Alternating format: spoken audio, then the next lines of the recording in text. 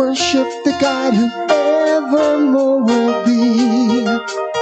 He opened the prison doors. He parted the raging sea. My God, He holds a victory. Yeah. There's joy in the house of the Lord. There's joy in the house of the Lord today. And we won't be quiet. We shout out your praise. The house of the Lord. Our God is surely in this place. And we won't be quiet. We shout out your praise. Oh, oh, oh. We shout out your praise. Oh, oh, oh. We sing to the God who heals. We sing to the God who saves. We sing to the God who always makes a way. He's hung up on that cross. Then he rose up from that grave. My God, still rolling stones away. Yeah. There's joy in the house of the Lord. There's joy in the house of the Lord today. And we won't be quiet. We shout out your praise. There's joy in the house of the Lord. Our God is surely in this place. And we won't be quiet.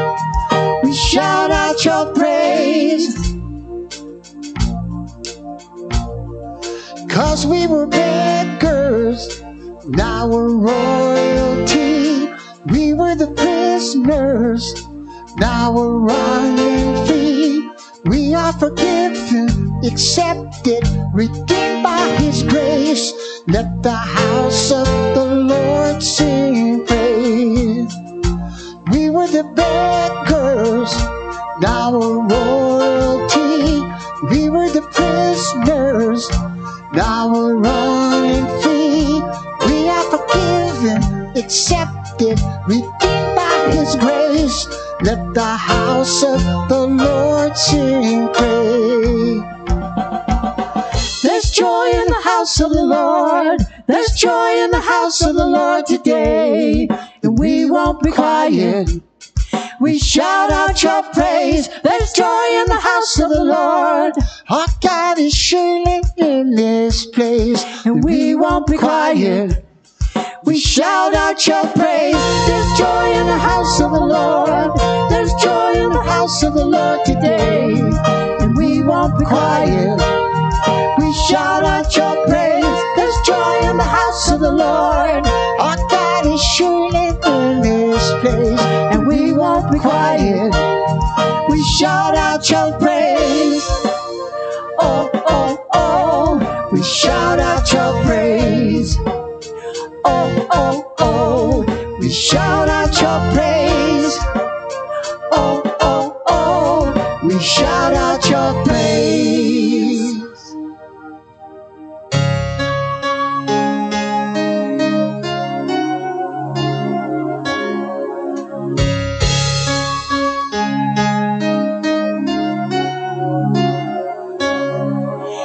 Darkness we were waiting, without hope, without light, till from heaven you came running. There was mercy in your eyes to fulfill the law and prophets. To a virgin came the word from a throne of endless glory to a cradle in the dirt.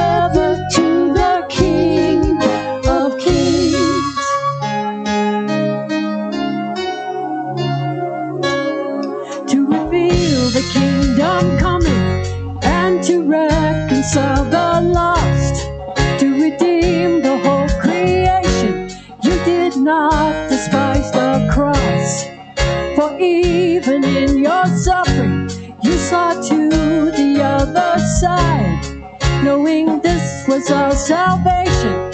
Jesus, for our sake, you died.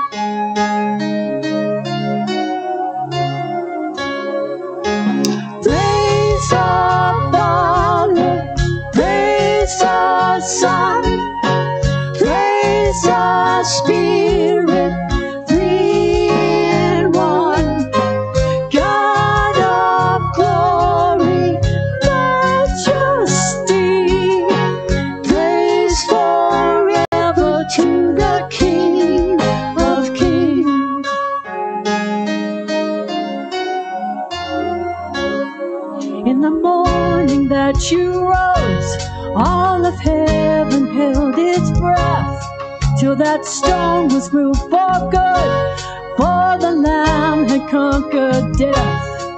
The dead rose from their tombs, and the angels stood in awe for the souls of all who'd come to the Father are restored and the church of Christ was born. Then the Spirit lit the flame.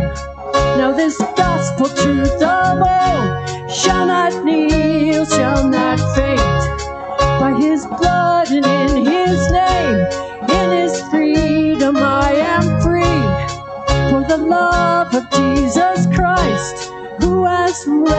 resurrected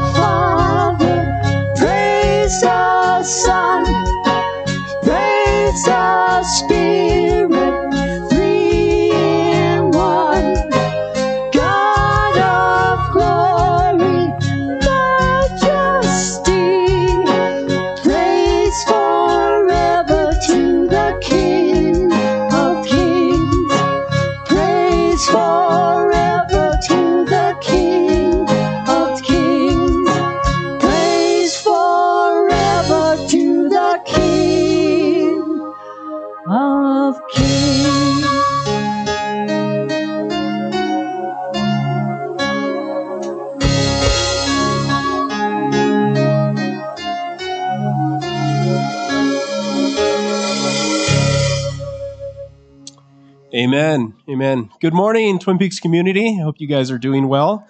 We survived another snowstorm this week. Woohoo! We are here again. We worked very hard to make sure the pathways were clear so we could have church this morning. I'm going to read to you from John chapter 13, verse 34. It says this A new commandment I give to you, that you love one another. Just as I have loved you, you also are to love one another. Let's always remember that our love comes from the Lord. Christ expressed his love to us to show us how we are to live, and we are to share the love of Jesus in all that we do. Amen. Let's go ahead and pray. Father, we thank you so much for today. We thank you that you demonstrated, that you expressed, that you taught about the true nature of love, that you gave love a definition, Lord. Lord, in this family, in this community, in this church, we know that your love is true and it's woven through all of us, brought to us by the Spirit. Lord, guide us in all that we do, and may we grow in a just deeper knowledge of that love as the days go on. In your name, amen. All right, why don't you go ahead and uh, wave to each other this morning and wave to everybody who will be watching this online. And then uh, say hello this morning and share some of that love.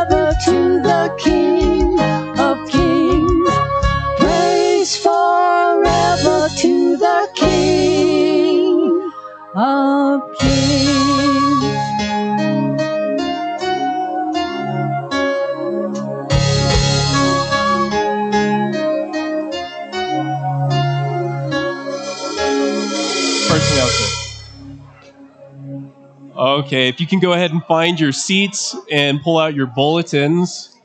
We do have a number of announcements to run through this morning.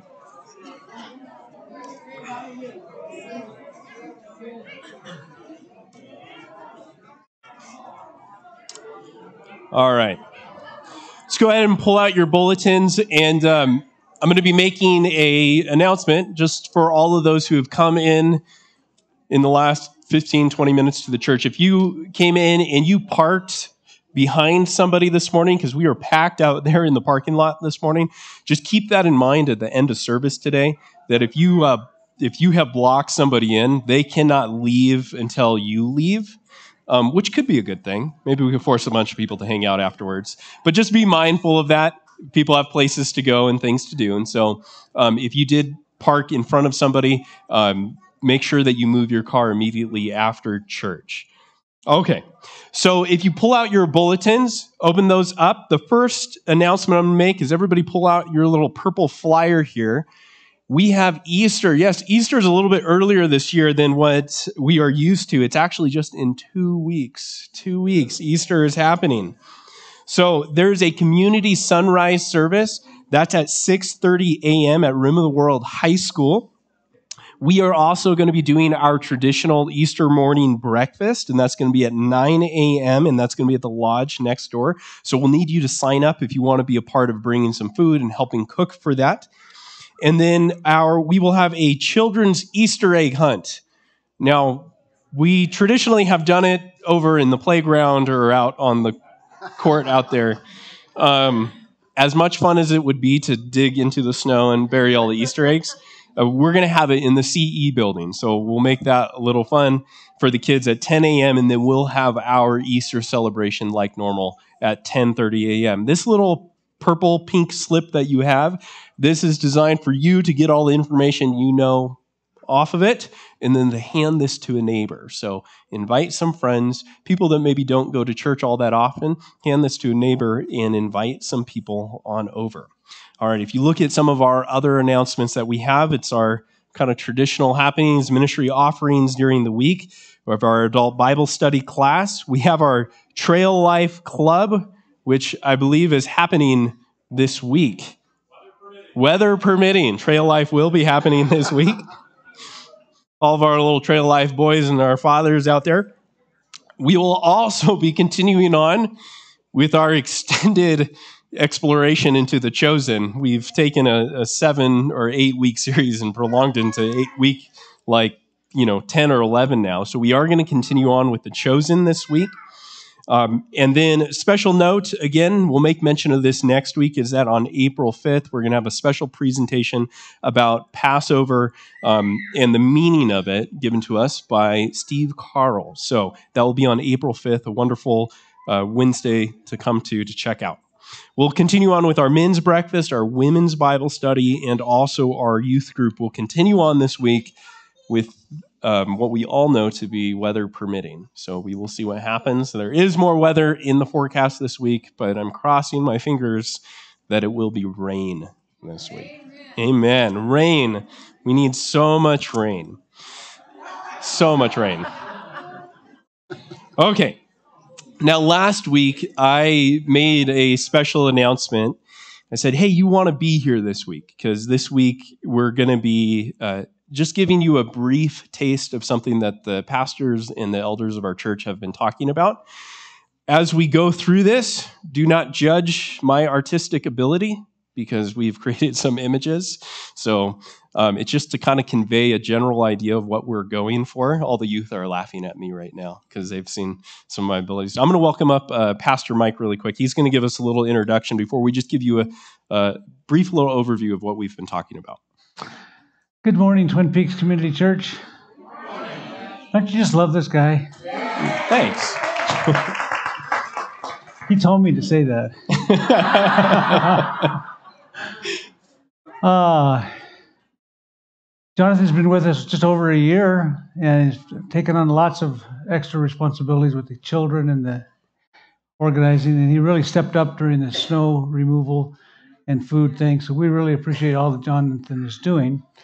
Um, he, he is uh, involved with the children's ministry, and he feels, and we feel, that it might be time for an upgrade on that building. We did a wonderful job five years ago re- remodeling, adding on to this building, and we did that debt free. Our goal is if we do any additional work, we do it debt free also. So it's going to take some extra giving to do that. But here's our, our big vision is we'd like to remodel that building and add a beautiful deck out the side, double the seating uh, in the summertime where you can sit outside and inside, and uh, maybe um, remodel this office building so it's a little more useful. Right now, it's a big storage room. Everything's just dumped in there. So we've got visions of remodeling both these buildings, but we're going to need you to get behind it. And uh, but uh, I don't know the particulars, so I'm going to pass that off to Jonathan and and Preston. Right? We will we'll talk about that in a second. All right. So, all right. All right. So first off, uh, Dave's going to bring up just a quick little slide here, um, and we just want to make sure that this everything that we do at this church is really based on what you've seen on on the bulletin and what we say. What, what we're about? We're about loving God and loving other people, but we're being really clear as a church, especially in the times that we live now, is that we are a Bible based, which means we teach the Bible. We teach the fundamentals of the Bible. We teach the fundamentals of the Bible to the children here. That's what our Sunday school is all about. Is that we go through the Bible the entire story of the Bible over the course of a year, 40 different lessons with the kids. And we teach how the Bible is one singular story that points to who Jesus is and how that applies to our life. And that won't stop. It hasn't stopped. It will never stop. We will continue to do that. So we are a Bible based church. We are a Christ centered church. We are a church that focuses on the centrality of Christ within the scriptures, is that it is who he is communicated to us, his knowledge poured into our heart by the Spirit. He is the one that we model, that we reflect. That's what we are about. And so if Jesus says it, then we agree with it. And so what he says, we do. And there are many things that Jesus says. You know, one of the most important things that Jesus talks about is how important it is to care for children. And that was one of the things I really loved about Twin Peaks Community Church when I looked at the history of the church, that the church was commissioned in 1922, if you've ever read the history, and it was commissioned as Strawberry Flats Sunday School. Isn't it neat to think that this church, during like all of the history World War II, the 60s, everything else, um, that this building, this little property here on this mountain has been a place that has been about educating and equipping and teaching people for the work of the for the you know work of the ministry. So we're a Christ-centered church, and we're all about you know helping each other grow and just grow to the fullness of the maturity of Christ, the unity of the Spirit, Ephesians chapter 4 would say.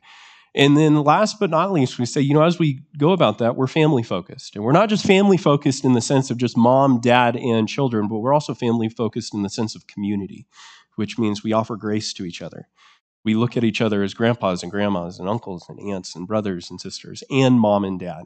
But we want to preserve and we want to protect um, the sanctity of the family, of, of what that is and what that represents in our world as it's increasingly becoming more and more under attack and um, just being undermined. And so we want to stand as a church that's opposite of that. All right. So that's what we are about as a church. If you're ever confused about that, come talk with me or come talk to Pastor Mike, and we'll always point you back to what's Twin Peaks Community Church about a Bible church that focuses on Jesus and loves the family and that means everybody that's in the family of God. So, to do that, uh, ideas, philosophies are wonderful. But when you take that philosophy and you actually have to put it, you know, rubber hits the road, you actually have to turn it into something. Facilities are helpful in doing that. So, we've been talking for about the last year and a half in um, about the different things that our church could use in order to help support the vision of the ministry here. And we've just identified some real basic and some practical steps that we could work towards as a church. And so I'm going to show off a couple, four projects that we're looking at. They're not massive, grandiose projects. They're just practical. I'm going to talk about each and every single one of them, uh, and then we're going to we're going to conclude by welcoming up a good friend of our congregation up here and talk about what steps we've already made in uh, going in this direction. All right. So there's four main projects that we want to do at the church that are going to help us support the vision and the ministry of our church. The first project is this one right here. Our church uh, is in need of a proper nursery building, a proper nursery room. You know, if you don't know what you're looking at right here, there's a simple little sketch that as you walk right out these doors above the little rose bed, the flower bed right there. It's the idea of building a stick built or a stick built building, not just a modular, um, but actually building a building that ties in with um, the look of our church here. Uh, that will be a nursery. So kids will be able to exit out of this room, and the nursery will be closer to the sanctuary than downstairs in the CE building. It will make sure that kids, infants, uh, toddlers that are in that room are close to the building here. It also offers another special thing is that it will uh, close off this area, creating a little courtyard right here in the center, which will be great for our church because occasionally we do have people just kind of walk up the steps and walk right through our church. This building will offer just another little barrier for that. So we're looking at doing that, putting a nursery right there. Now, currently, the nursery is located downstairs in the CE building. So we'll go to the next slide. It will be turning the downstairs of the CE building into a simple little kitchen where we'll have dry food storage. We'll have places so that when we do our potlucks, when we have preparations, when we have um, all of the things that our church does with food, is that we're going to have a space down there in order to prep, to prepare, so that we can serve and we can um, just keep food in a proper place here uh, for all the parties and all the wonderful things that we have here. Who's attended some form of a gathering, a barbecue or something, right? You, we do food all the time here at our church. And we go from our office building and through the church and sometimes over to CE, and we're walking and we're carrying and we're moving things back and forth. We want to condense that, which kind of leads to this next uh, little vision project. So we'll go to the next picture. It's a remodeling of the CE building. Now, this isn't anything that's going to require a permit. This is actually something that we can get started on pretty quick. But we want to remodel the CE building to upgrade the lighting, to make it look that one wall that we're always staring at, make that look like a classroom wall where it's cozy. We want to keep the cabin feel of the building still there, but we want to make it look really nice. There's also some talk about adding a little coffee bar, an L shaped coffee bar in there, um, which will help with service and with helping uh, just get out food and all the events and things we do. But the CE building has one kind of restriction to it, and that is we're limited on size, on how many people we can fit in there. That building is used on Monday with CC. That's our classical conversation, and it's a homeschool group that we host here. Tuesday night with Trail Life Boys, that room is being used. Wednesday night, we host our potlucks there and we do Bible study. Thursday nights, we're doing it with youth group, and we have revolving events that happen on Fridays and Sundays and sometimes on Saturdays. So that building has been used so much. I think it'd be wonderful if we work towards making that place just pristine and making it a wonderful classroom, but at the same time, a multi purpose room that can be useful for all the events we do at the church. So it's really something special back there. We also kind of want to do some things with the church history in that building too, and kind of accent and highlight some of the history of our church in that room. All right. That leads to this next one, which um, I just have to bring this out. Is that Ann Wilsey, I think, actually had this idea. Rick brought it to my attention. We were trying to figure this out and it's to actually build a large deck on the backside of the CE building with some French doors where we can have a place for barbecue, fire pits, some outdoor seating, some benches, so that it will expand our usage of the CE building and our space, and we can get many people in there uh, for the events like the Strawberry Festival for VBS, even Sunday school kids on Sunday mornings when it's warm outside. We can even actually go outside and be in God's creation as we teach about His Word. So that's the other project that we're looking at. So these four projects, next slide, are the initial conversation that we've had as an elder team and as pastors to just take what we have here at the church and just give it a bit of an upgrade, which will then eventually lead to uh, just an upgrade of our offices, which will help with just some administrative stuff here at the church. So that's our initial project. That's what we're looking at. Uh, at this time, I'm welcoming up Preston Martin. Everybody give a round of applause to Preston Martin. So I love Preston very much because I'm a I'm an artist. I'm really good at drawing pictures and saying, "Hey, we should go this direction or we should do this." But when it comes to like actually making that thing happen, uh, sometimes I can struggle in some of those areas. So God brought along a Preston, and And Preston's full time job is a project manager who actually takes visions and ideas and says, This is how we actually make it work.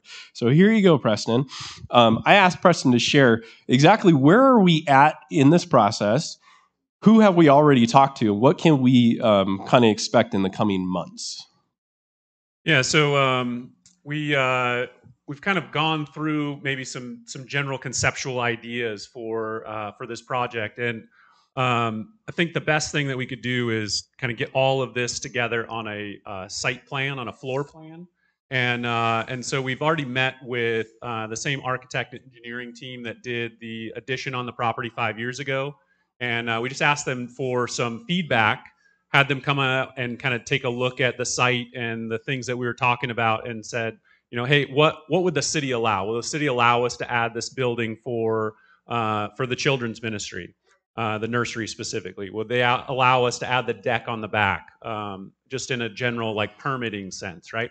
And so we got some feedback from them on that. They kind of gave us a little bit of direction on the uh, the kitchen area downstairs, keeping that really more typically like dry food and, and, not going like a full commercial kitchen down there to save some cost and some, uh, some kind of general use.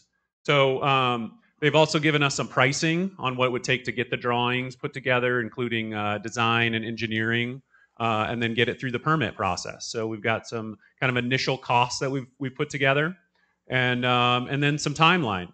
Uh, so, like Jonathan mentioned, the um, the we'll call it the cosmetic upgrades to the CE building, the the lighting and the flooring, and uh, kind of adding some paint and things like that. Uh, all of that kind of stuff could be done, you know, pretty quickly, probably maybe even in the summer timeframe. Um, the other stuff is going to take a little bit more time to get the design and engineering completed and then get that through the permit process. Um, cities all over uh, all over California are really backed up right now, so um, it's important for us to kind of get behind this project and uh, put all of that vision together on a set of drawings and then get that into the city for review and uh, and permitting because it's we're talking about probably like a, a six month time frame before we could really get that permit in place if we were to start today. And so yeah, that's that's kind of the timeline and the vision and what we've what we've done so far. Yeah. So I just want to highlight that Preston has also accepted the responsibility of overseeing this project too. So he's not just a good voice, but he's actually saying, I will help be the project manager for this, uh, which is awesome. Um, and so, so thank you, Preston, very much yeah. for today. So um, this is what the ask, and just why did we bring it up to the congregation today? There's probably so many questions spinning around your head and in particulars. Today is not a time for that. Today is not a time um, during announcements or praise and prayer to be asking those questions. A time will come to be able to ask some more questions and give some feedback. This is not something that we're going to do closed off from everybody else. Uh, we want to get some input from different people as we go through this process. This is just kind of to whet your appetite and know that uh, we as a leadership team of the church, we we identify you know a vision of what this church is uh, and what it can be in our times. And these are some very practical things that we can do here at the church. And so we just wanted to inform the congregation and let you know that in the coming months, there will be more information that will come out about the direction that we're going as we meet as an eldership team. You guys good with that? You guys excited about that? Great. I'm I am as well. All right. With that, are there any other announcements this morning? Okay. Here we go. Good morning. Um, I'm Kim Johnson, and we're having Mountain Christian Fellowship. That's for the ladies on the mountain uh, to come together and meet for the tea. Is this Friday? It's at Church of the Woods from one to three. So I'm the one that takes the reservations. So let me know if you're interested. I realize we have weather might be coming Wednesday and Thursday, and you're right. Pray for rain, not snow. Although I think on my phone it turned it changed from a dot to a little snowflake. So we'll see what'll happen. But it's Thursday from one to three, so you'll have plenty of time. But let me know if you're interested in coming, and uh, we'll start from that. This April 30, excuse me, the March 31st meeting, which is this coming Friday, is actually the April. It's supposed to be the first week of April, but that's going to be our Easter, so we are early this year. Yes. So hopefully Yes, you can come. are. It's a tea. So there's a food uh, that's provided for you, and we have uh, entertainment in terms of a Christian singer. And again, you've heard me say how wonderful it is to listen to so many ladies singing about loving their Lord. And it's open to anybody, um, any women on the mountain, bring your friends, whatever you choose. Just let me know. Thanks. Great. Great. Any other announcements this morning? No? All right. Well, with that, let's go ahead and continue on uh, in worship. Father, I thank you for today. I thank you for this family that's here. Lord, I just pray and ask a special blessing, uh, Lord, just upon this congregation and upon this church, knowing that we look to serve you. We look to communicate truth. We look to communicate truth in love uh, to this world that is in such desperate need of it right now. Pray that your hand will be upon this church, will be upon the lives of everybody who is here, and that you will bless the children and the families and everybody, Lord, over the years as they just grow in the truth of your word and learn more about who you are. Guide us in your name. Amen.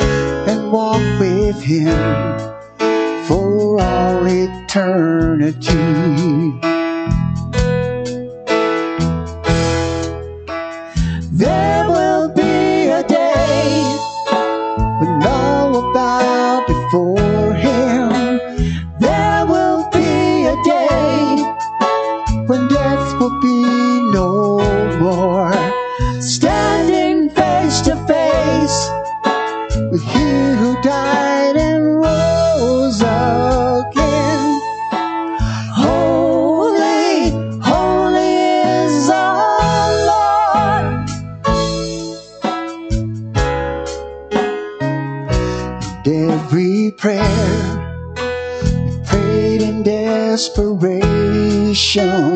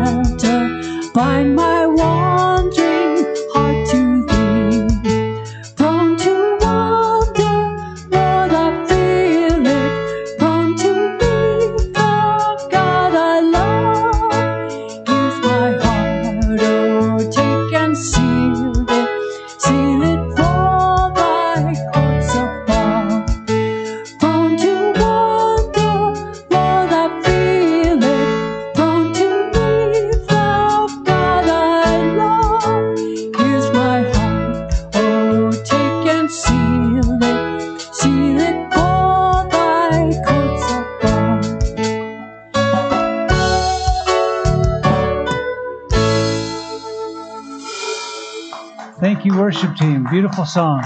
Beautiful. You may be seated. Children may come forward for Kids Corner to the front row. If you're new to our church, we bring the kids up, talk to them for a few minutes before they go to their classes. Kids are welcome in our service. If you prefer to keep your children with you, that's okay. They don't need to go to class. Or if you want to join them and go back with them to observe Sunday school, you're welcome to do that as parents. What's this picture of? A fish. You guys ever go fishing? Yeah, you went fishing? I tell you what, some, I want someone to tell me their fish story. Tell, you went fishing? Here, can you tell me more? I went fishing with my grandpa. When Solomon went fishing with his grandpa? Did you catch a fish? Yeah. How big was it? Um, Is it this big? Yeah. Yeah? You think so? He's a pretty good talker, isn't he? Wow. He got big. Uh, anybody here want, want to tell us a fish story? Tell us when you went fishing. Did you go fishing? Tell me about it. Well, I went fishing to my dad, and then I got a one. Did you catch a fish? Was it big? Yeah. How big was it? It's like this. That big. That big. Tell me more. Um. t- Um. So. Um. We were we were just having fun, and then um Jordan's like fishing thing, and was um going to the water, so I went to it, and then I got it. You caught a fish? How big was it? That big. All right, that's pretty good fishing. You ever heard of a fish story, fishy tales? Do some people exaggerate? What's exaggerate mean? What's exaggerate mean? What's exaggerate mean? It kind of means when you kind of like add to a story. Kind Add to the story or stretch the story a little bit? Yeah. Yeah. Yeah. Have you been fishing? Anybody else? No? Okay. Well, I'm going to put the microphone down here. I'm going to tell you about fish stories. Sometimes we tell people we caught a big fish when really it was a little fish. Is it okay to stretch the truth a little bit? A little white lie, they call that. Is it good to tell lies? No, it's not good to tell lies. I've got another fish here. What color is that fish? We got a dark fish and a white fish. And I want you to see which one's the big one. Which one's bigger? Yeah, see they're even on the bottom. The black one, yeah, it's a black one, yeah, dark colored. Um, sometimes we stretch the truth. You know, I'm going to try something here. I'm going to stretch this white one. Ooh. I want to see which one's bigger now. Let's see which way. Oops, I'm upside down. That's right. Even on the bottom. Which one's bigger now? Wait a minute. You told me the black one was bigger. White. So sometimes we tell little white lies, but they grow. Sometimes our stories tell. We just keep adding to the story. and It gets bigger and bigger and bigger. And uh, the Bible talks about Satan being the father of lies. Is Jesus? Jesus is the truth, and Satan tells lies and deception. So, do we want to be like Jesus that tells the truth, or do we want to be like the devil that tells lies? We don't want to tell lies, do we? I want you to look at these fish. I'm going to stretch this black one for a minute. Ah. I want you to look. Which one's bigger now? You know what? I, I've just tricked you, actually. This is an optical illusion. They're exactly the same size. Look at that. They just look different. when you hold them side by side, one looks bigger than the other, doesn't it? Look at that. So is are little white lies okay? No, they're just as bad as big, big, big dark lies, aren't they? So all lying is bad, and we should be people that tell the truth. The Bible says, "Thou shalt not lie or bear false witness." Now, you guys think that's a pretty cool trick? You guys want to do that yourself? Would you like your own fish? How about I give you each a fish? Is that okay? Here's, look at this. You get to cut them out yourself. So each of you will get one of these fish. And then you can practice it and show it to your grandpa when you get home, okay? Um, let's stop and pray right now, though. Thank you, Father, for these boys and girls. Help us to be truth tellers. Help us to be like Jesus, the, who tells the truth. And Lord, help us to, to not be like the devil who tells lies. Give us clean hearts and truthful hearts. In Jesus' name, amen. I'm going to give this to your uh, Sunday school director, and I'm going to tell you guys you may go to your class, follow him, or you may go back and sit with mom and dad.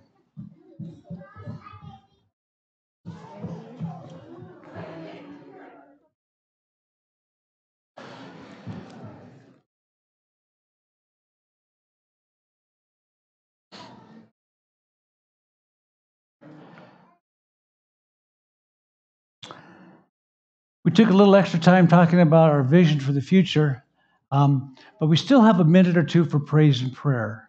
I don't want you to miss an opportunity. If you've got something you just really want to share that God has been answering prayers, what's been happening in your life, This is your chance to, to say something. Uh, let the redeemed of the Lord say so. Okay, there's one right in the back in the middle. And they're both racing. You can have two microphones, Cammy. Okay, I asked for prayer for the last two weekends for Nancy, who's a friend, her mother that had the biopsy or whatever, had the biopsy on the grapefruit sized tumor. Well, it's it's benign. It's benign. No cancer. It's benign. So that's a praise. That's a praise. Wow, that was a big deal. Amen to that. Yeah, it was. And they're they're believers, but um, Amen. so Well, all thank you for sharing. Thank you for sharing that update. By the way, uh, we've not had uh, internet all this week here at church, and uh, so right now we're not being shown live to YouTube as usual or to Facebook, but there it is being recorded and will be posted later. So if somebody at home tells you I didn't, I couldn't find the uh, church service online, just let them know that hopefully we'll get our internet restored this week and it'll be posted. Okay. Okay. We have an announcement in the back or a praise.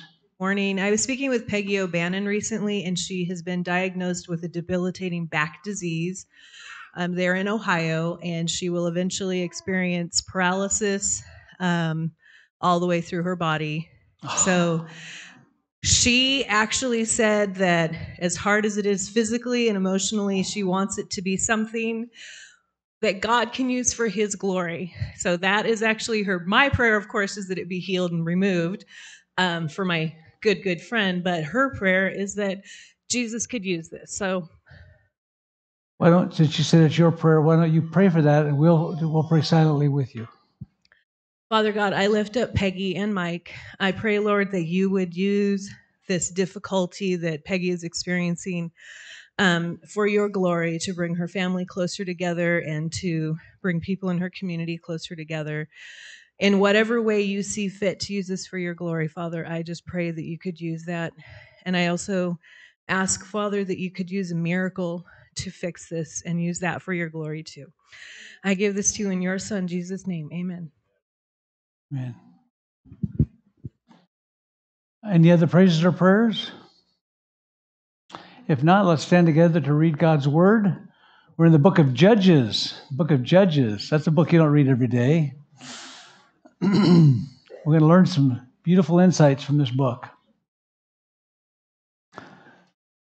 The people served the Lord all the days of Joshua and all the days of the elders who survived Joshua, who had been who had seen all the great work of the Lord which he had done for Israel.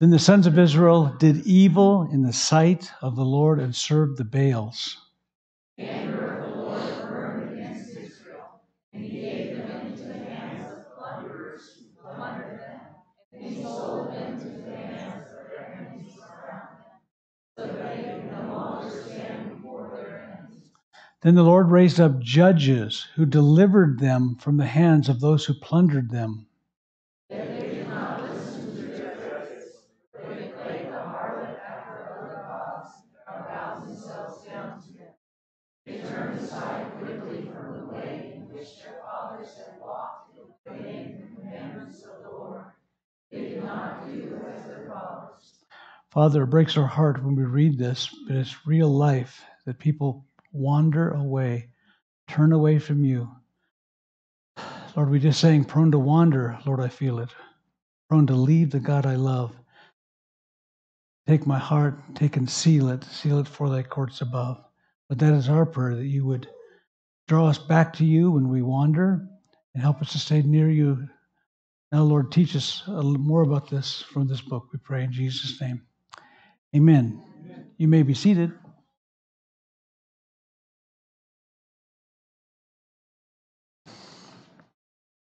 I'm cold. I know the thermostat says it's warm in here, but I'm not warm. Get that light on there, get that heat. Today we're continuing our series of studies, What the Bible is All About. What the Bible is all about. We're taking a bird's eye view of every book of the Bible, one book each week. going to take 66 weeks.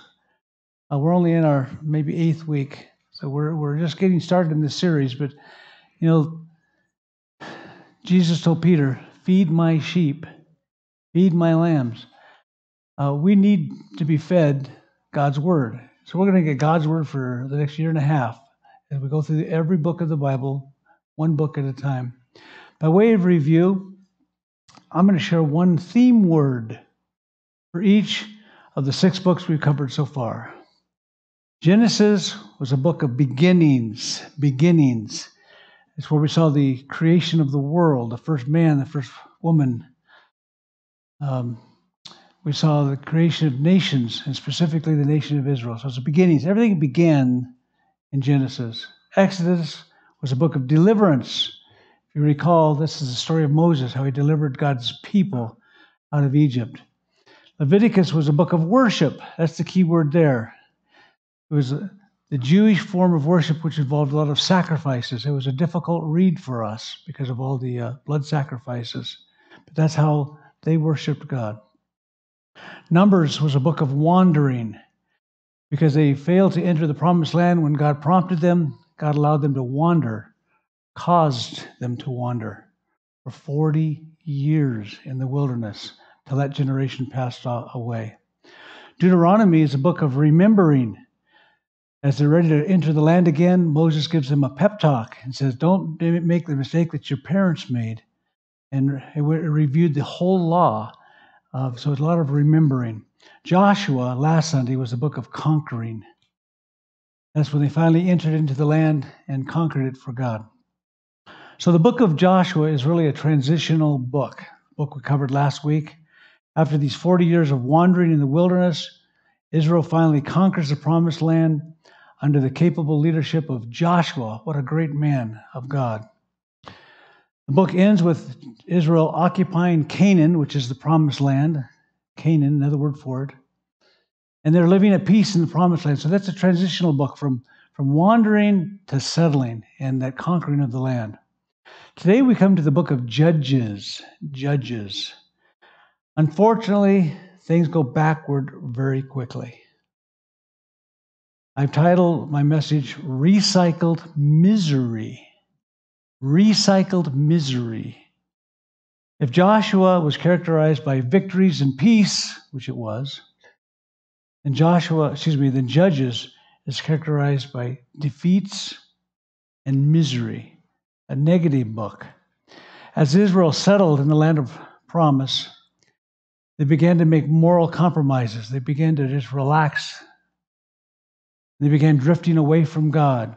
As a result, they had cycles of God disciplining them and drawing them back.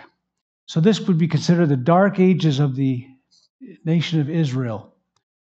300 years of drifting to God and then away from God, back and forth. Cycles of this. The key verse is the final verse in the whole book. It summarizes the whole book. I'll just give it to you right up front. Judges 21 5. In those days, there was no king in Israel, there was no leadership.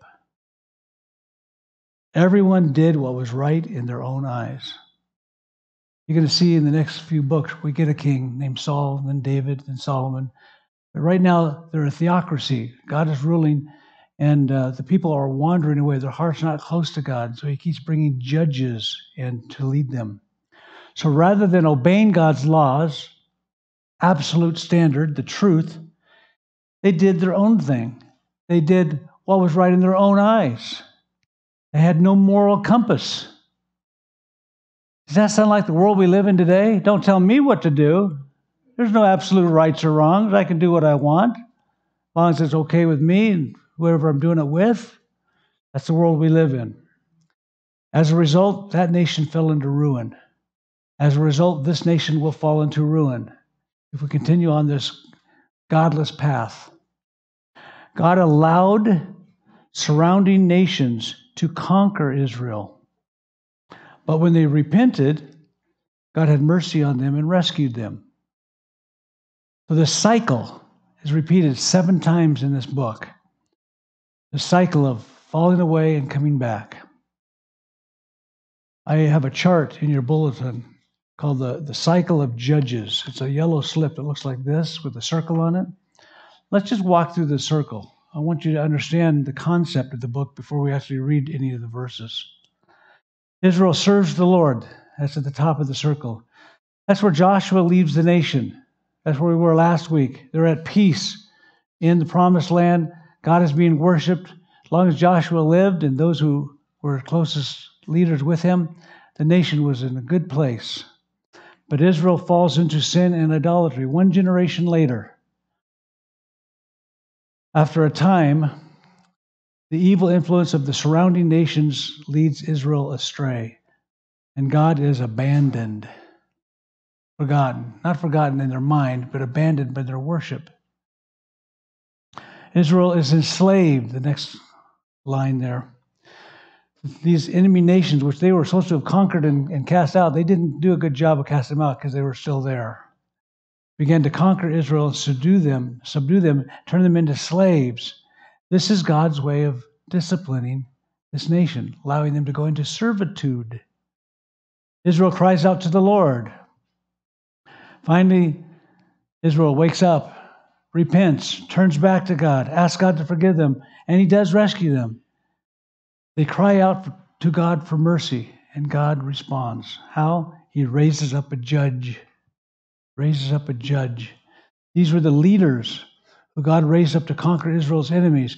They were more like generals or military leaders than they were judges, per se. Um, they always had judges. Moses was a judge. Moses had many people that would listen to people's complaints and give a, a, rendering. These men did that, but more than that, they led them as a nation. These were like presidents, they were leaders. Then Israel is delivered. The judge turned the tide, gives Israel a victory. Let's bring in a, a revival, a temporary revival, because the cycle continues. And the land's at peace again. Unfortunately, the cycle repeats itself over and over in this book. Over 300 years passes. Our nation's not even 300 years old. But in that 300 years, they cycle through falling away from God and coming back to God, and a judge being raised up. So I've titled this message Recycled Misery. Recycled Misery. Do you learn from your mistakes? Or do you just keep falling back into your same destructive ways? Is your life a, a vicious cycle of misery? Well, then you can relate to this book. God can help you break the cycle. God can give you the victory. You don't have to keep falling away and coming back. We read in Romans, we are more than conquerors through him who loved us. We're more than conquerors, not just conquerors, we're more than conquerors. You can stay on the top if you stay close to Christ through Jesus Christ our Lord. Now we're going to open our Bibles to Judges chapter 2. Judges chapter 2. And we're going to see uh, the cycle defined. We just read these scriptures, but I want to just kind of go back through them and just kind of comment as we go. I think chapter 2 is really the key chapter. To lay out the whole book. So let's just kind of glance through a few of the verses here. Judges chapter 2, verse 7. The people served the Lord. That's the top of the circle. They served the Lord all the days of Joshua and all the days of the elders who survived Joshua. So his generation, Caleb and others that were leaders in that time, they kept the nation close to God. He remember at the end of the book, he says, Choose who you'll serve. As for me and my house, will serve the Lord. We looked at that last week. It was a great generation of conquering and settling the land, who had seen all the works of the Lord which, the, which he had done for Israel. So Joshua influenced his generation for God. They stayed true to God. They obeyed God as long as they had a strong leader that led them that way. I wonder if we're influencing those around us. I wonder if we're like Joshua, strong and saying we're going to follow the Lord regardless. Me and my house will serve the Lord. Sadly, their devotion to God didn't rub off on their kids, the younger generation. Look at chapter 2, verse 10. All that generation also were gathered to their fathers, and there arose another generation after them who did not know the Lord, nor yet the work which he had done for Israel. I guess that generation didn't pass on their faith as well as they should have. Maybe they tried to. It's hard sometimes to pass your faith on to the next generation. Have you noticed that? It seems like there's strong Christians, then there's a weak generation. Then there's a revival and there's strong Christians. That's what we see in this book. That's what we see in life too. It took only one generation to drift away from God. You know, right now there's a, a pretty good movie out called The Jesus Revolution.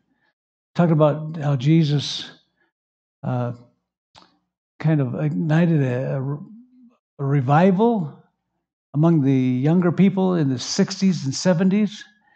You know, now we're living in the second generation after that. Uh, we're the uh, second, uh, one generation removed from that. Don't you wish we'd have that revival again? Did those people, all those people are on fire for God, were they able to pass their faith to the next generation? It's not as easy as it sounds like it should be. I mean, I'm really thrilled when I hear about so and so is a third generation pastor, or you know, they've managed to pass on their faith. I tell you what, it, it's a problem we have is passing our faith on to the next generation. And jo- Joshua had that problem. Look at verse 11. Then the sons of Israel did evil in the sight of the Lord and served the Baals. So they started imitating the people around them, started worshiping their gods instead of the one true God. They began to associate with these cultures that they were supposed to have driven out. They began to intermarry with them, and as a result, their, their devotion went from God to these idols. It must have been such an attraction to idol worship because people kept getting drawn back into it.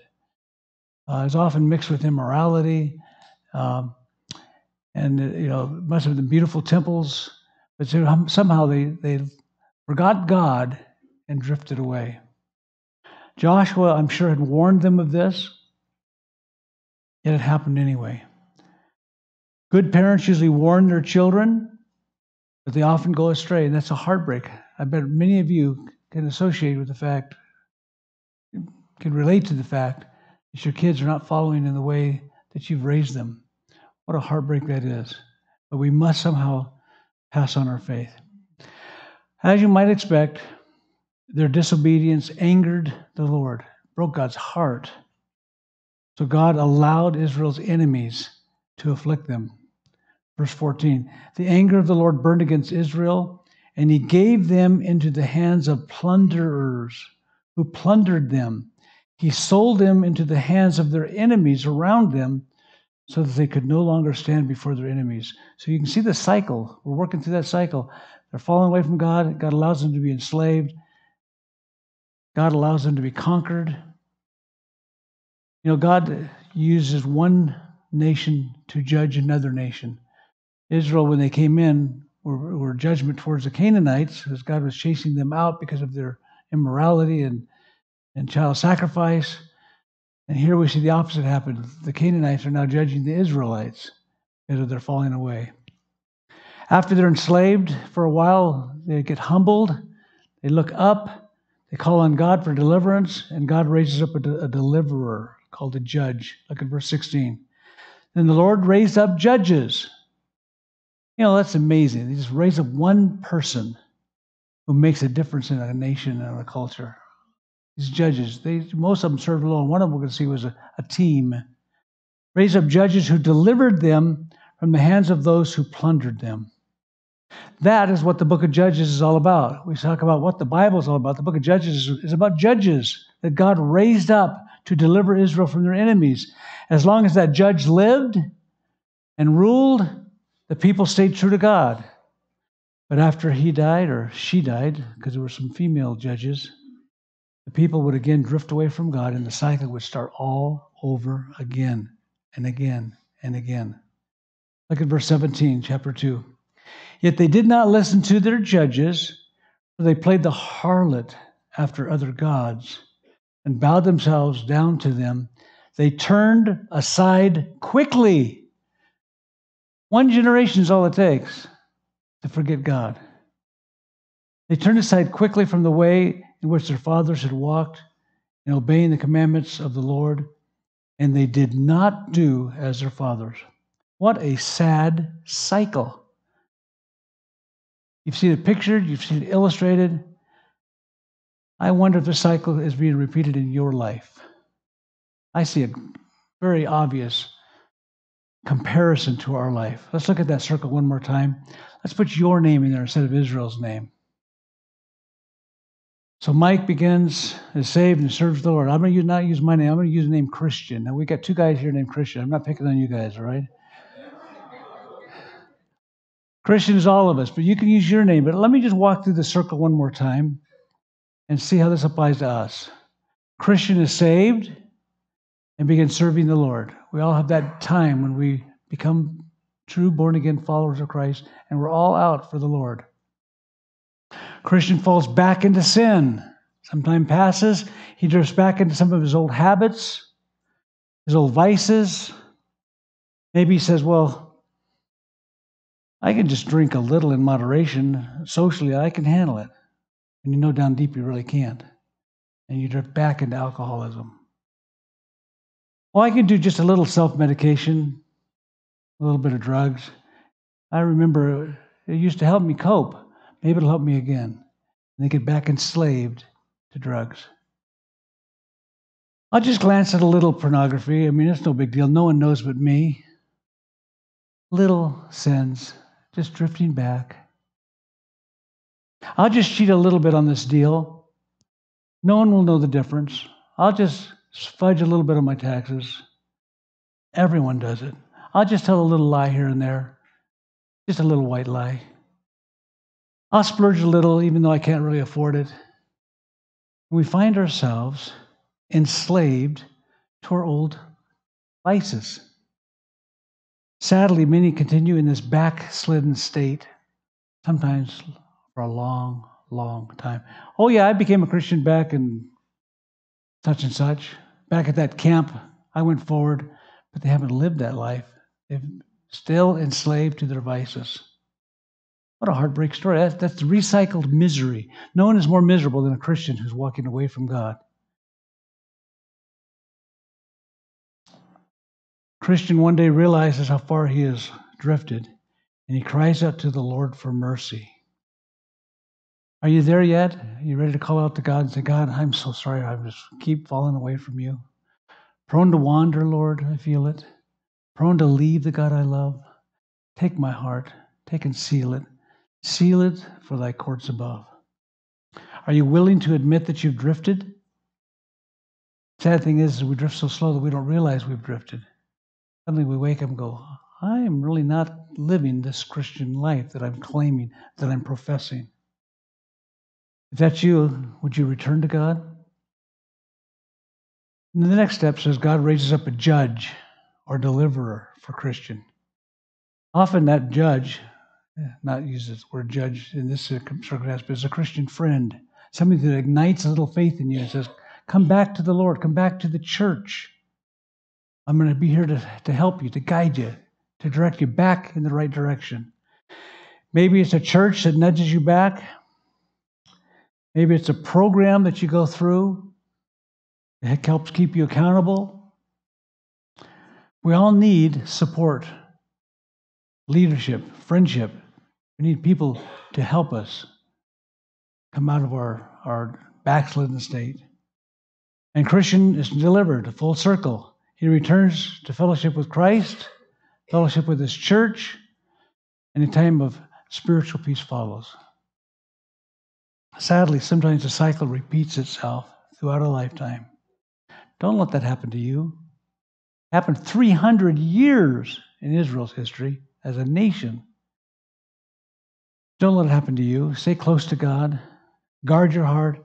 Stay in God's word. That's what happened. They drifted away from God's word. They weren't obeying God anymore, and they began to compromise spiritually, morally. Stay connected to Christ's church.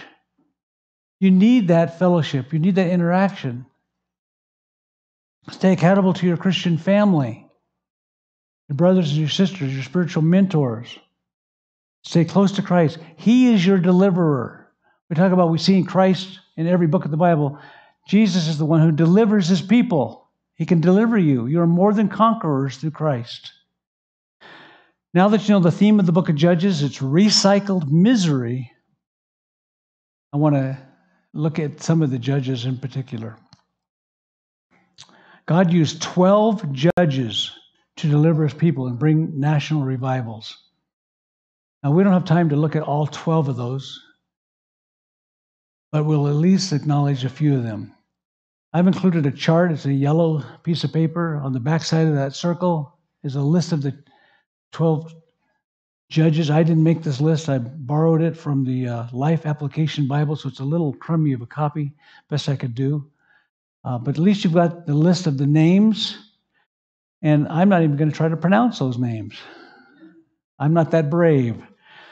But you got the names of them on the left, how long they judged. Now, notice the years 40, 80, 40, 40. They served a long time. In our type of government, we, our presidents served four to eight years. These guys served 40 to 80 years. As long as they were alive, the people stayed close. So they, they led revivals that lasted a generation. When they died, the people wandered, drifted. And in the next column, you have some of the memorable acts that they did, some of the things that they did that are remembered for. So you can read through those, and they'll tell you what chapters to look at. You may not want to read all of them, but that is a good guide to study on your own. Let me highlight four of them. Four of them. I'm going to skip over most of them because of the time. Um, these are war stories. So this book is a bit gory. I would call this book maybe rated R, okay? Because of the blood and violence, crazy things that happen. So we're not going to get into those details. You can read that on your own. Maybe that'll make you more interested in reading. I don't know the, the blood and gore of the Bible, the book of Judges. But look at uh, the second one, Ehud, E H U D, from Judges 3. He pretended to have a secret message for this enemy king. And this king was hugely obese. So somehow he got uh, in on a private meeting with him. And when he drew near, he pulled out a hidden knife that he had and he assassinated the king. And this led to Israel conquering the Moabites who were oppressing them. So that's what I'm telling you. These are gory stories. Um, but God used this man to turn the tide for the nation of Israel over the Midianites. Deborah is the next one there. We're going to look at. She's in Judges 4 and 5.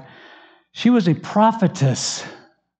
Not too many prophetesses in the Bible. A lot of prophets, but not that many women who spoke on behalf of God.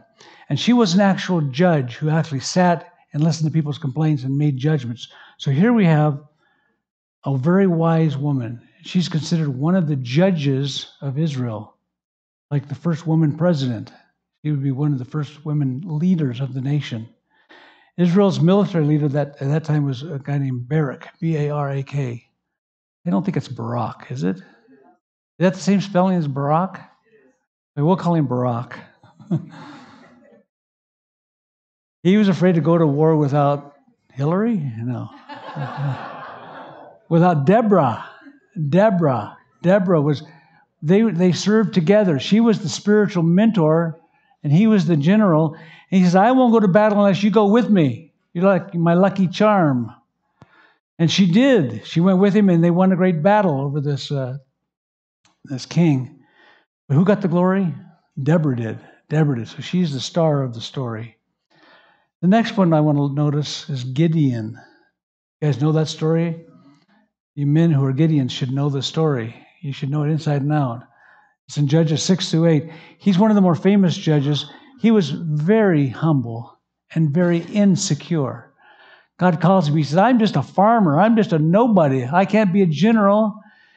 He's so timid. He says, God, I'm not a natural leader. God said, But you're the man I want to use. That tells me God can use what we consider our weaknesses. He needed a little reassurance, so he puts out a fleece, a piece of wool. He says, God, when I wake up in the morning, I want the, the fleece to be wet and the ground to be dry.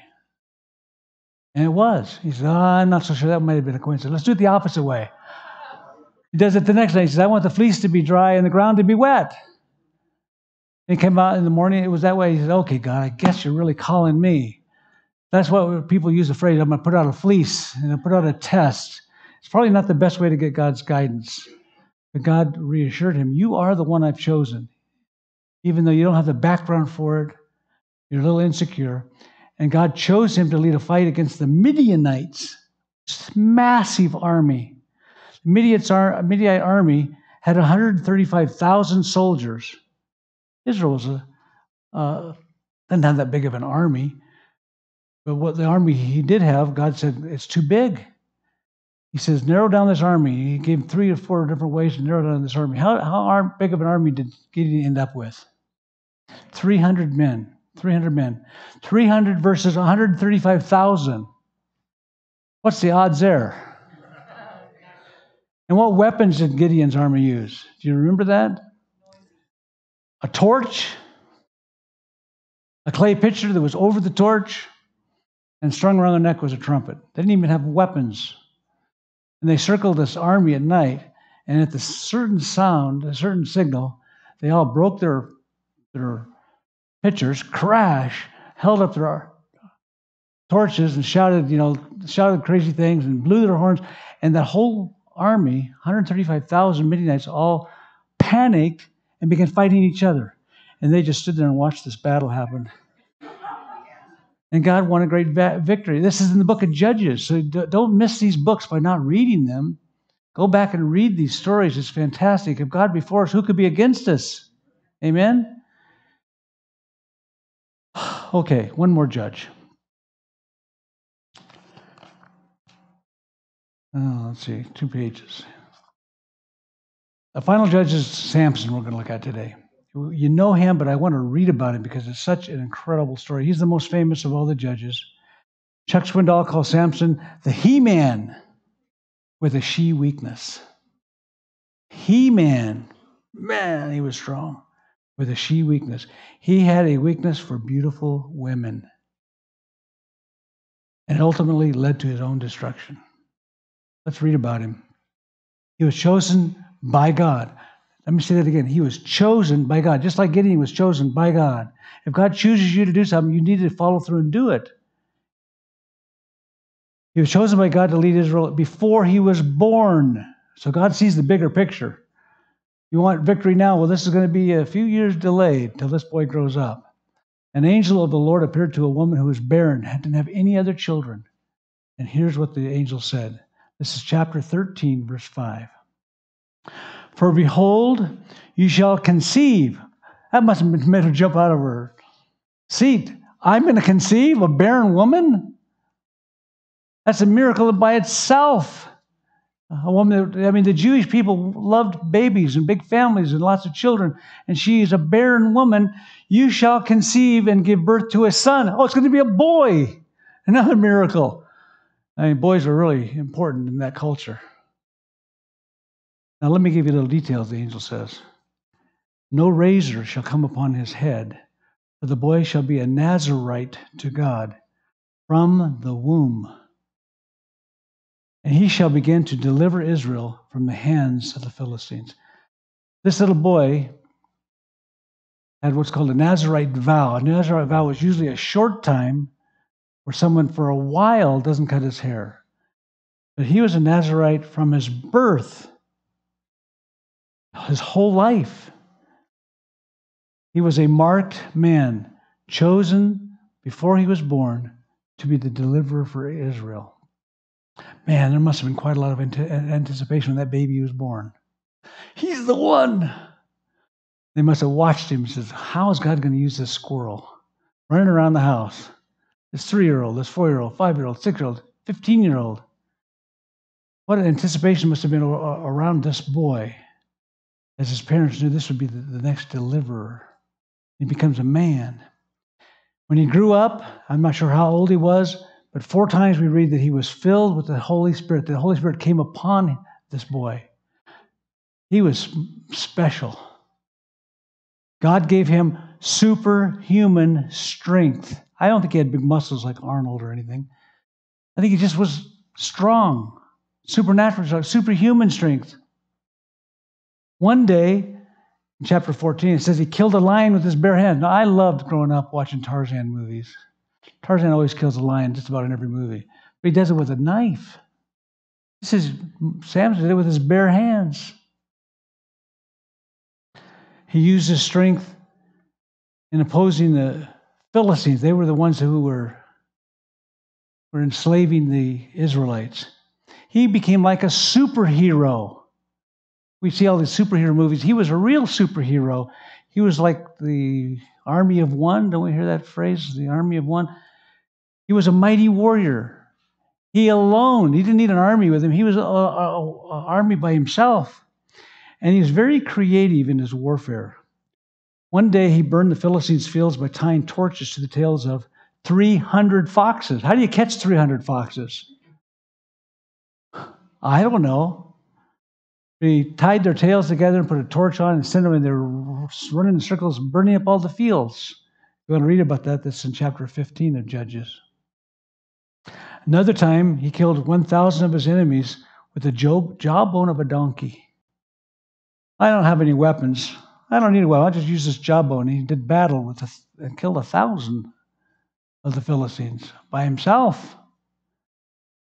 Another time, he, he took the tore the city gate off of a, of a building, put it on his shoulders, and walked away with it, so that the, the city was now not no longer secure because of Samson and his strength. That's chapter 16. But all along, he was being controlled by his lust. I'd love to just say this guy just became the greatest, but he just he failed. Let's read about it, chapter 14, verse 1. Then Samson went down to Timnah, and he saw a woman in Timnah, one of the daughters of the Philistines. Are they supposed to marry Philistines?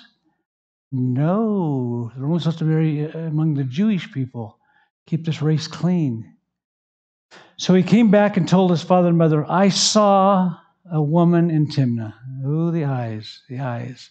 I saw this beautiful girl, one of the daughters of the Philistines.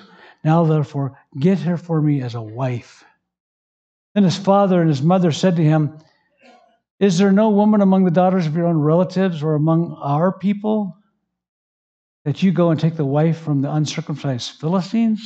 But Samson said to his father, Get her for me, for she looks good to me. That phrase keeps coming up. If you read it all, we're skipping verses. He kept saying, She looks good to me. He's got lust. His fatal attraction, fatal weakness is beautiful women.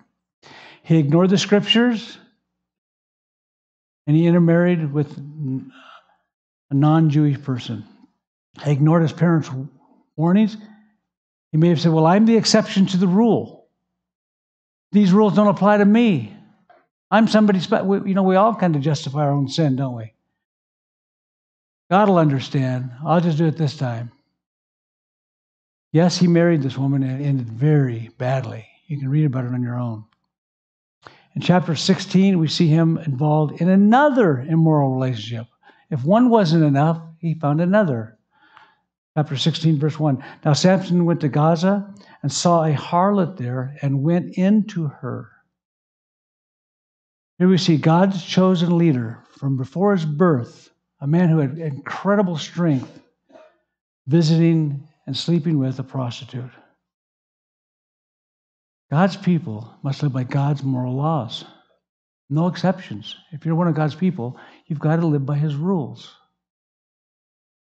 And a few verses later in the same chapter, he meets another seductive woman.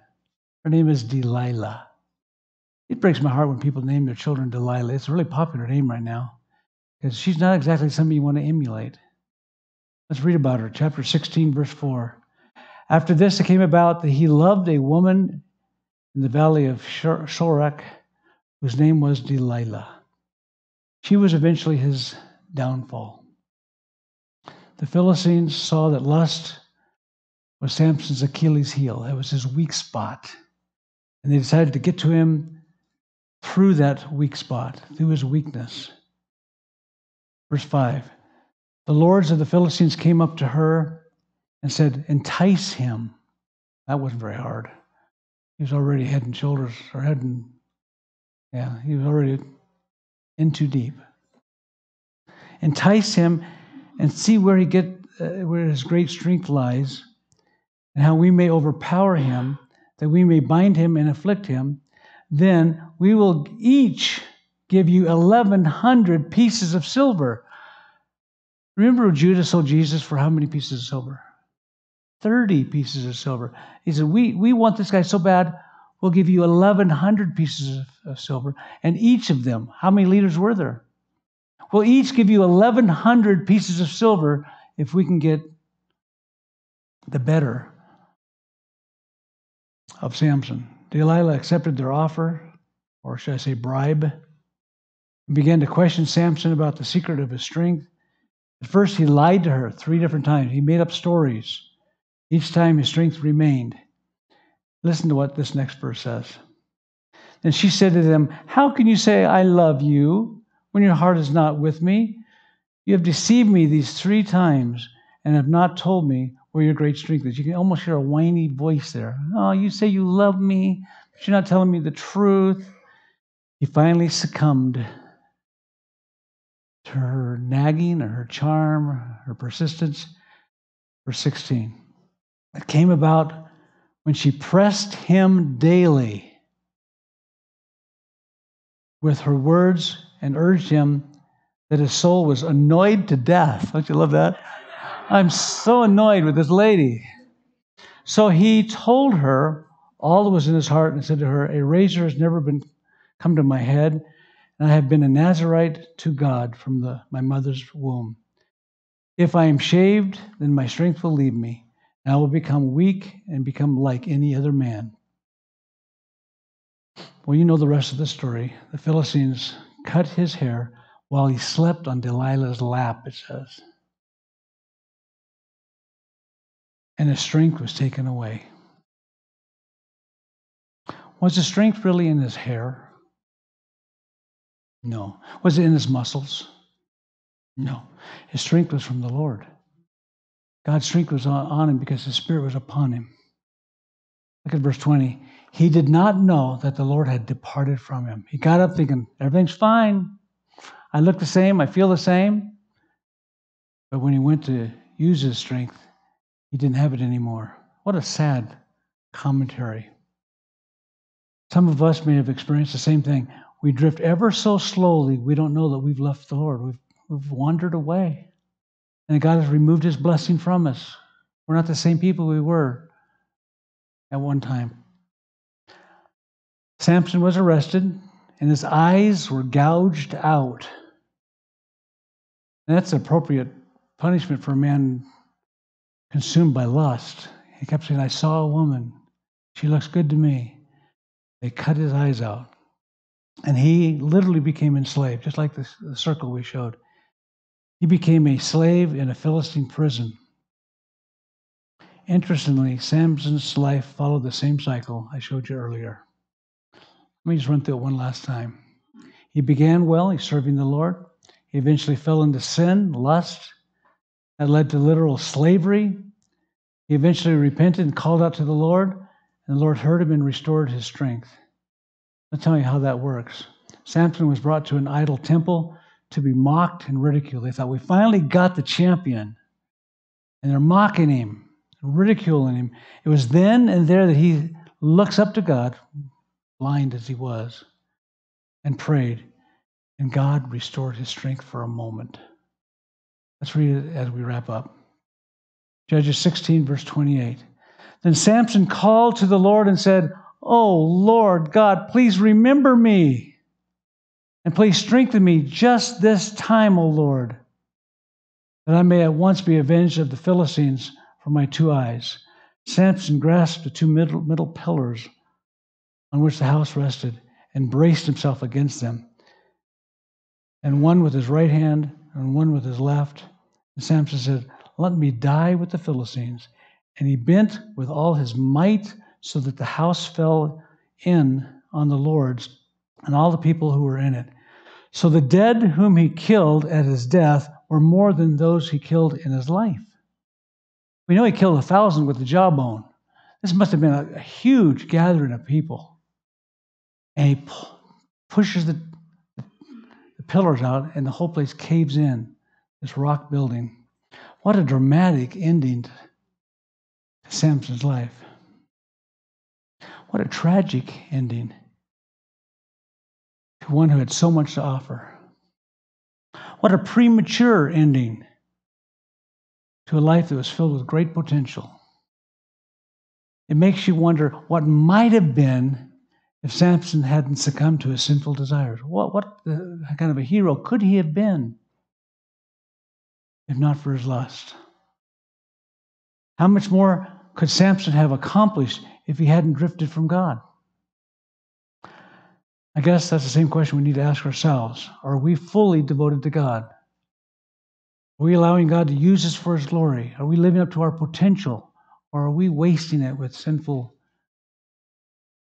driftings away from God? Are we short circuiting our effectiveness because of our moral compromises? Are we drifting away? Are we losing God's blessing? Only you know that. Only you can answer that. And we've covered a lot of ground today, but let the book of Judges be a warning to us.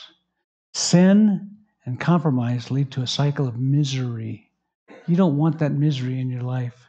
You want to live in peace, in victory. We must guard our hearts from wandering away from the Lord. Let's pray. Lord, our hearts are prone to wander. We have so many things to draw us away from you. Lord, I pray that we would guard our hearts, guard our eyes. Help us to be 100% sold out to you each and every day. Help us to give our lives as a living sacrifice, holy and acceptable to you. We pray this now in Jesus' name. Amen. As Jonathan said, these sheets are for you to invite people to Easter. Easter's coming way sooner than anybody thinks. It's two weeks away, and we're hoping that we have a parking lot by then. We'll see. Next Sunday, Jonathan will be speaking from the book of Ruth. Now, you can all read the book of Ruth. There's only four chapters, four chapters in the book of Ruth. Um, the reason Jonathan is speaking from Ruth is because my wife and I are going to go on an anniversary trip. We planned a trip on our 40th anniversary three years ago, and COVID happened, and everything else happened. So now we're finally going on a, on a little cruise to Cabo. So we leave Tuesday morning and we'll get back in time to speak. So Jonathan's going to speak. The following week is Easter, so I won't see you between now and Easter probably. Um, so God bless you and uh, invite folks to Easter. There's a sign up sheet. It's in that foyer in the room where we do the cookies. It's under the thermostat. It's two sheets of paper. It didn't come out real dark, so it's kind of faded a little bit. Sign up to bring whatever you can for Easter breakfast. There's uh, suggestions there. And bring plenty because we want the whole community to come to Easter service, but not everyone will bring food. So you have to bring more than you normally would at a potluck. All right? And um, I guess that's it. Let's stand together for a closing song.